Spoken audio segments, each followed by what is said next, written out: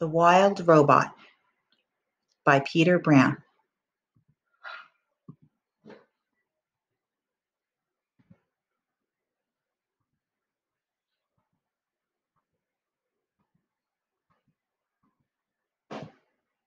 The Ocean, Chapter 1. Our story begins on the ocean, with wind and rain and thunder and lightning and waves. A hurricane roared and raged through the night. In the middle of the chaos, a cargo ship was sinking. Down, down, down to the ocean floor. The ship left hundreds of crates floating on the surface. But as the hurricane thrashed and swirled and knocked them around, the crates also began sinking into the depths. One after the other, they were swallowed up by the waves until only five crates remained. By morning, the hurricane was gone. There were no clouds, no ships, no land in sight. There was only a calm water and clear skies, and those five crates lazily bobbing along the ocean current. Days passed, and then a smudge of green appeared in the horizon. As the crates drifted closer, soft green shapes slowly sharpened into the hard edges of the wild, rocky island.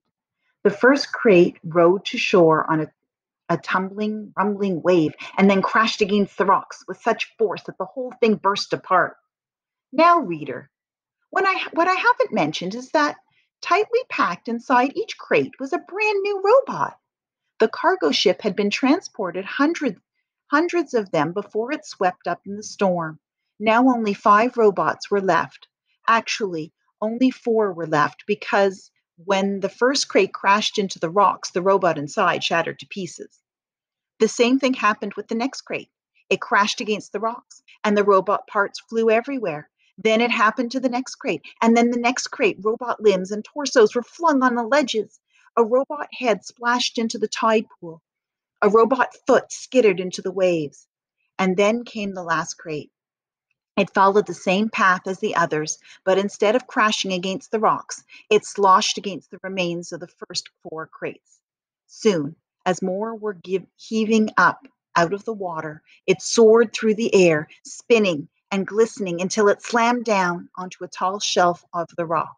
The crate was cracked and crumpled, but the robot inside was safe. Chapter 2 The Otters the island's north shore had become something of a robot grave site. Scattered across the rocks were broken bodies of four dead robots. They sparkled in the early morning light, and their sparkles caught the attention of some very curious creatures. A gang of sea otters was romping through the shallows when one of them noticed the sparkling object. The otters all froze.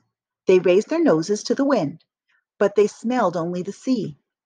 So they cautiously crept up over the rocks to take a closer look. The gang slowly approached a robot torso.